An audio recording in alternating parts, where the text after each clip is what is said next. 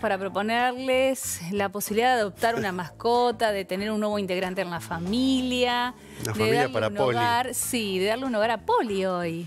Poli que no tiene nada que ver con la policía, No, mucho menos con mejor el sí. Politécnico. Fede nos va a contar un poquito más. Averigüemos, Fede, ¿por qué Poli?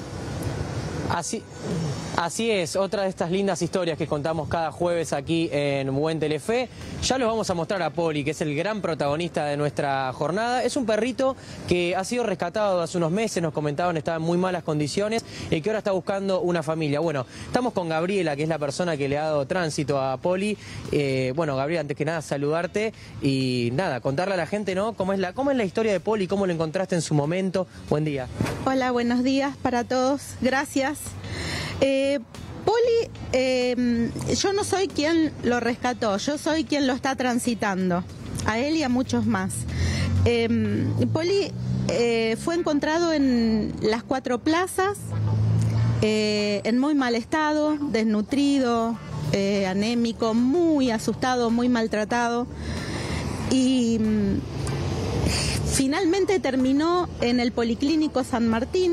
Ahí se debe su nombre, ¿no? Por eso le pusieron poli por el policlínico. Claro, que decían policía, politécnico. Polici- No, No. no.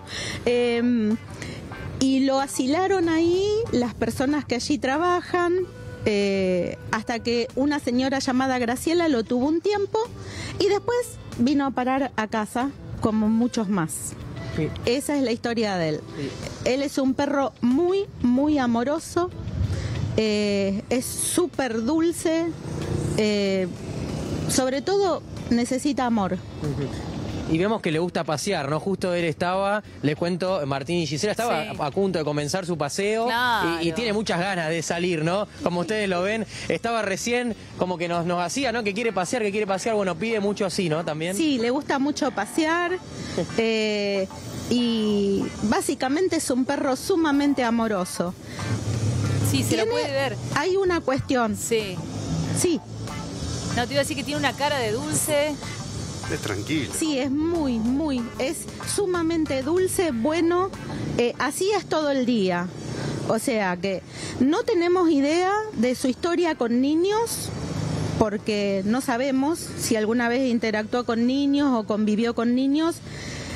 Eh, básicamente eh, estaríamos buscando una familia donde no haya niños pequeños.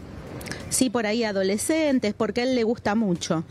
Y personas mayores porque por el miedo que por ahí los puede hacer caer. Pero después eh, con hembras se lleva, es territorial, o sea que sería más conveniente que esté con, con hembritas. Eh, con machos no. Y básicamente mucho amor, mucha paciencia. Son perritos que cuesta mucho curar su cuerpito, pero más cuesta curar su alma y su corazón. Qué lindo eso. Es ¿no? una tarea, sí. Claro, imaginamos que también que, muchísimo. que mientras se dan estos paseos uno puede ir leyendo qué tipo de conductas, cuán sociable es con otros animales o personas. Sí, sí, sí, sí, por eso, por eso les comentaba. eh, con hembras está todo bien. Eh, con macho, con algunos, pero eh, generalmente, en realidad, los machos son territoriales. Claro. Él está castrado, está vacunado, tiene eh, todos los estudios hechos, eh, está listo para encontrar una familia que lo ame para siempre. Y los Claro, ¿y qué edad interesados, tiene, ¿cómo se ponen? aproximadamente? Está. Sí, te escuchamos. Fede. Poli está, eh, Poli eh, Sí. nunca es, eh, se puede saber exactamente cuando uno rescata, pero está entre seis años y medio y siete, o un poquito más tal vez. Bien, ahora sí, Martín, te escucho, perdón. No, no, que estamos justo poniendo un número de teléfono en pantalla para todos aquellos interesados en querer a- adoptar a Poli, reuniendo todas las características mencionadas recién para que puedan finalmente acceder a la posibilidad de, de llevarlo, por, obviamente previo a una, una selección. Sí, sí, sí. Eh, el teléfono los van a estar atendiendo, eh, si es posible, por WhatsApp. Eh, escriban. Las madrinas van a estar a cargo de, de, de hablar con, con las personas interesadas y, y bueno, esperemos que, que encontremos la familia, que ya esté viniendo la familia de Poli y muy agradecida, muy agradecida.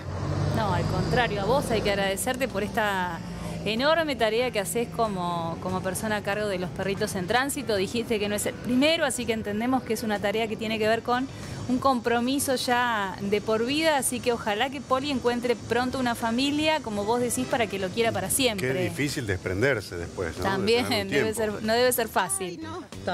Eso iba a decir. Em, no, no les puedo explicar eh, lo que es desprenderse es como el destete. Cuesta muchísimo porque uno los recibe eh, en un estado muy vulnerable y los ve eh, cómo ellos se van mejorando, eh, van cambiando y, y bueno, encuentra alivio cuando los ve finalmente en un hogar, amados, respetados, como uno lo sueña, porque en el transcurso eh, desde que los recibe hasta que ellos se van, uno, uno, al menos yo, a mí me pasa, yo tengo 55 años y hago esto desde los 18. Y, y yo sueño, sueño cómo lo quiero ver. Y cuando finalmente ese sueño se hace realidad, bueno, ahí viene el alivio y en algunas oportunidades sigo teniendo contacto con la gente. Y bueno, han pasado muchísimos por mi vida. Bueno, esperemos que Poli encuentre pronto la familia. Gracias. Gracias a ustedes, muchas gracias. Le agradecemos a Gabriela y a Poli, en este caso lo dejamos que ahora tiene que ir a pasear, ¿no? Tiene que ir a pasear, sí. sí. Bueno, lo dejamos ahí tranquilo y ojalá que, que, pueda conseguir una familia, ya saben, ahí tienen todos los datos y con esto nosotros nos despedimos hasta mañana. Muchísimas gracias. Hasta mañana.